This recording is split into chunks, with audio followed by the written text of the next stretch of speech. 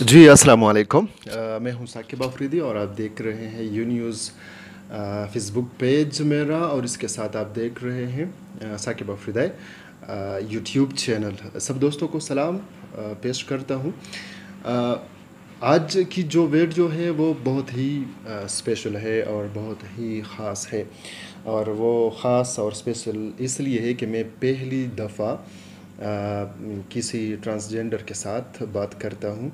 और जो जिस ट्रांसजेंडर के साथ मैं बात करता हूँ, वो भी बहुत ही स्पेशल है।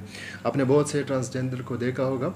हमारी सोसाइटी में है, लोग रिस्पेक्ट करते हैं, लोग इनकी इज़्ज़त भी करते हैं। लेकिन कुछ लोग ऐसे भी हैं जो उनको वो रिस्पेक्ट नहीं देते, जो इनका हक है। और बहसीत इंसान, हमें हर इंसान की वो उनको रिस्पेक्ट देना है, उनकी इज़्ज़त करनी है। मेरे साथ अभी बेटी है तो उनका नाम है गुड़िया और उनका अपना नाम है फैसल कुरेशी। फैसल कुरेशी या गुड़िया का ताल्लुक इस्लामाबाद से है और जो ख़ास बात है वो ये है कि ये फेडरल गवर्नमेंट में पहली ट्रांसजेंडर है जिनको जॉब मिला है।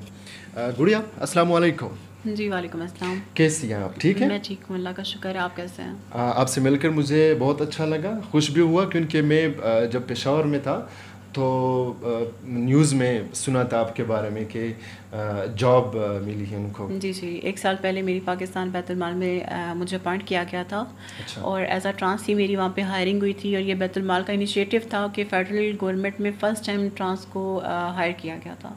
अच्छा इससे पहले गुड़िया क्या करती थी आप? ज़रा बताइए। उससे पहले तो मेरा फैमिली बैकग्राउंड यही था कि मतलब स्टडी तो मेरी कंटिन्यू नहीं हो सकी। क्योंकि जब स्कूल लाइफ मेरे फादर की डेथ हो चुकी थी अ, जब मेरी एज ट्वेल्व ईयर थी। अच्छा। उसके बाद स्कूल हमें बचपन से ही डिस्क्रिमिनेशन स्टिग्मा स्टीरियोटाइपिंग का ही सामना करना पड़ता है।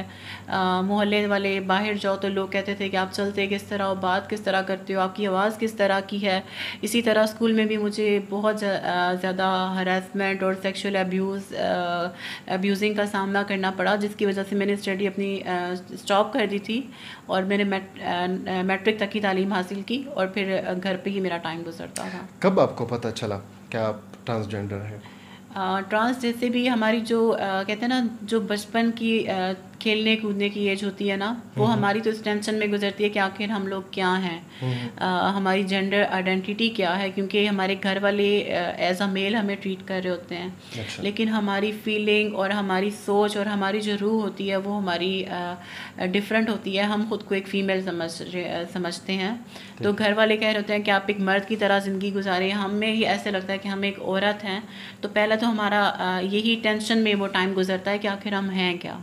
और बचपन से ही हमें पता होता है कि हम डिफरेंट हैं और बाकी लोगों से मुख्तलिफ़ हैं। फिर इस चीज़ का एहसास लोग दिलवाना शुरू कर देते हैं जैसे जैसे हम बड़े होते हैं। आपके रिश्तेदार आपके मोहल्लेदार यही आपको इस चीज़ का इस चीज़ को रियलाइज़ करवा देते हैं कि आप डिफरेंट हो आप चलते इस तरह हो आप बात इस तरह है करते ठीक है। अच्छा गुड़िया ये बताइए मुझे कि इस्लामाबाद में और पूरे मुल्क में बहुत ज़्यादा ट्रांसजेंडर कम्युनिटी रहती है। आपने क्यों इस जॉब को सिलेक्ट किया या आपको ऑफ़र आई थी इस जॉब की? बिल्कुल मुझे क्योंकि मेरी स्टडी आपको मैंने बताया फादर की डेथ हो चुकी थी और मैंने ये स्टडी सिर्फ़ मैट्रिक तक की थी। अच्छा। और हम्म, पहले बचपन में ये था कि बहुत ज़्यादा बुजदिली थी डर लगता था। जैसे जैसे एज बढ़ती गई ये समझ आई कि मैंने खुद के लिए खुद ही कुछ करना है अपने लिए आवाज़ उठानी है और अपने लिए खुद ही कुछ चेंज करना है। पहले तो इतना डर गई थी मैंने दो दफ़ा सुसाइडल अटैम्प्ट किए दो दफ़ा मेरा स्टमक वॉश हुआ। अच्छा। और उसके बाद मैंने कहा नहीं इस तरह तो ज़िंदगी नहीं गुजरेगी आप मरने की कोशिश भी करो लेकिन अगर आपकी मौत नहीं लिखी तो आप मरोगे नहीं। तो मुझे जीना है और अपने लिए खुद कुछ करना है। पाकिस्तान बैतुलमाल में मेरी जॉब ऐसी हुई कि मैं वहाँ स्कॉलरशिप के मुझे पता चला था कि वो फाइनेंशियल सपोर्ट वगैरह करते हैं। और वहाँ पे स्कॉलरशिप भी दी जाती है। जब वहाँ मैं मेरा जाना हुआ स्कॉलरशिप के लिए तो वहाँ के एमडी साहब ने मुझे जॉब की खुद ऑफ़र की कि आप यहाँ पे अच्छा। जॉब भी करें और पार्ट टाइम अपनी स्टडी को कंटिन्यू करें। ठीक है। अ, कपड़े आपने मर्दों वाले पहने हैं अभी? इसकी क्या वजह है? और बाल भी क्योंकि अक्सर ट्रांसजेंडर को जब मैं देखता हूँ तो उनके लंबे लंबे बाल होते हैं, कपड़े भी वो फीमेल्स की पहनते हैं तो इसकी क्या वजह है?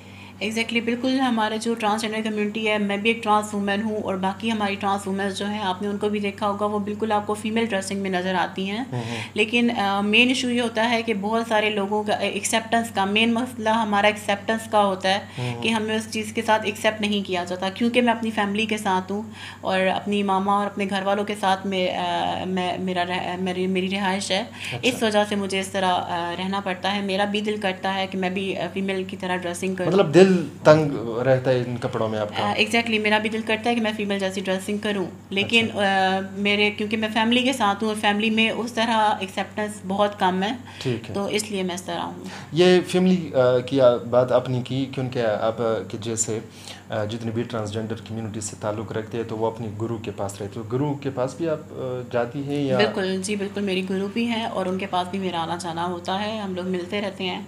और कोई भी मसला हो हमेशा मुझे अच्छा गाइड करती हैं और हमेशा सपोर्ट करती हैं। अभी जो ट्रेनिंग हमारा चल रहा था आर एच आर यानी रिप्रोडक्टिव हेल्थ एंड राइट आपने भी ये ट्रेनिंग हासिल किया? क्या कुछ सीखा आपने इस ट्रेनिंग में?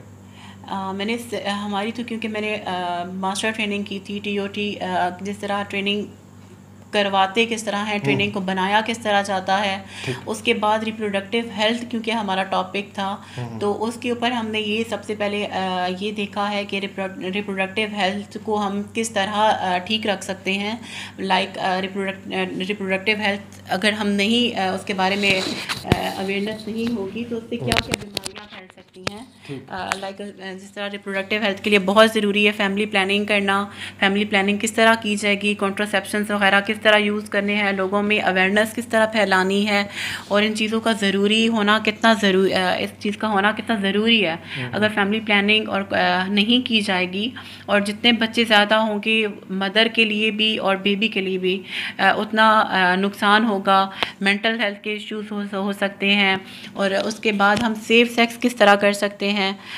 कॉन्ट्रासेप्शन वगैरह अगर यूज़ करेंगे तो उससे हम सेफ़ सेक्स भी कर सकते हैं। बाद में एस वगैरह और एस फैलती हैं। हम्म। इन चीज़ों के बारे में हमें अवेयर किया गया। इसके अलावा हमने एस के बारे में बात किया। हम्म। वैसे तो सिक्स सेवनटीन एस हैं लेकिन यहाँ पे हमें फोर के बारे में बताया गया। थ्री फोर फाइव और टेन के बारे में बताया गया। उसके बारे में बात की। उसके अलावा हमने लेजिस्लेशन वगैरह के बारे में बात की। और हमारे क्या क्या राइट्स हैं रिप्रोडक्टिव हेल्थ के के मुताबिक हम्म। उनके बारे में हमने एजुकेट तो अच्छा आखिर में ये बताइएगा पिछले दिनों आपको मालूम होगा आपने शायद प्रोटेस्ट वगैरह भी किए होंगे कि पिशावर में गुलपाड़ा को कत्ल कर दिया गया और इसके अलावा इस्लामाबाद में जो आपकी गुरु है उनके घर पे भी फायरिंग हुई थी। ये वजूहत क्या है और किस तरह इन वायलेंस को इन तशद के जो वाक़ हैं उनको रोक सकते हैं? हाँ इनको रोकने का सबसे बेहतरीन तरीका तो ये है कि हम लोगों में जितनी हो सके अवेयरनेस फैलाएँ। लोगों में जितनी एक्सेप्टेंस आएगी हम लोगों को एक्सेप्ट करें। हम लोग भी आप लोगों की तरह नॉर्मल इंसान हैं। हम सब नॉर्मल इंसान हैं। मैं हमेशा ये बात ज़रूर करती हूँ कि जब अल्लाह ताला ने अशरफुलमखलूक़ात इंसान को कहा था तो उन्होंने मर्द और औरत को नहीं कहा था उन्होंने इंसान का वर्ड यूज़ किया था। मर्द औरत और ख्वाजा सरा सब इंसान हैं। तो सबको इंसान समझा जाए इनको भी जीने का ज़िंदा रहने का खाने पीने का सेहत का एजुकेशन का वोट डालने का और और इनके भी बहुत सारे हकूक़ हैं जो इनको दिए जाएँ। और इनको प्लीज़ आप उठाकर कचरों के डब्बों में मत फेंकें ये दुनिया में सिर्फ़ नाचने गाने तालियाँ बजाने फ़ंक्शन करने के लिए नहीं आए। अगर आप इनको एक्सेप्ट करेंगे घरों पर रखेंगे इनको अपने बाकी बच्चों की तरह एजुकेट करेंगे तो इन फ्यूचर में ये रोल मॉडल बन के इंशाल्लाह सामने आएँगे। अच्छा, और बाकी गुलपरना का जिस तरह वो फ़ंक्शन पे जा रही थी उन पर फायरिंग की गई। और पिछले दिनों में आयशा मोहर इस्लामाबाद पे उनके घर पे आके फायरिंग की गई। तो बस यही है कि लोगों में जितनी एक्सेप्टेंस आए पहले तो जो लोग इस तरह की हरकत करते हैं उनको सज़ा दी जाए ताकि लोगों को पता चले कि इनके साथ अगर जुल्म ज़्यादा की जाएगी तो इनके लिए भी कोई बोलने वाला है और हमारा कानून मौजूद है कि अगर इनके साथ कोई ज़्यादा करेगा या इनका इस तरह मर्डर करेगा तो उसके ख़िलाफ़ कानून कार्रवाई की जाएगी। तो उनको मासूम को उसका हक मिलना चाहिए और जो ालिम है उसको इंसाफ मासूम को इंसाफ मिलना चाहिए और जो ालिम है उसको सज़ा मिलनी चाहिए। बहुत शुक्रिया। थैंक यू सो मच जी दोस्तों ये थी गुड़िया जो इस्लामाबाद से बिलोंग करती है और बैतुलमाल में एज ए क्लर्क ये पिछले तकरीबन एक दो साल से काम कर रही है। आ, इस इंटरव्यू का मकसद सिर्फ़ यही था। एक तो ये है कि ये हमारे साथ ट्रेनिंग में थी यहाँ इस्लामाबाद में जो रिप्रोडक्टिव हेल्थ एंड राइट्स के हवाले से ट्रेनिंग था इन एक्ट इंटरनेशनल मैंने चाहा कि आपके साथ इनकी एक डायरेक्शन भी हो जाए और आ, इनके वो जो एक्सपीरियंस से गुजरी है वो भी हमारे साथ शेयर करें। वीडियो अगर आपको अच्छी लगी हो तो बर मेहरबानी अपने साथ शेयर कीजिएगा। हमारा चैनल जो है वो भी सब्सक्राइब करें और फेसबुक पेज जो है यू न्यूज़ वो भी लाइक करे। दूसरी मुलाकात तक, तब तक के लिए इजाज़त चाहूँगा मैं साकिब आफरीदी। अपनी दुआओं में हम मुझे याद रखिएगा। अल्लाह हाफिज़।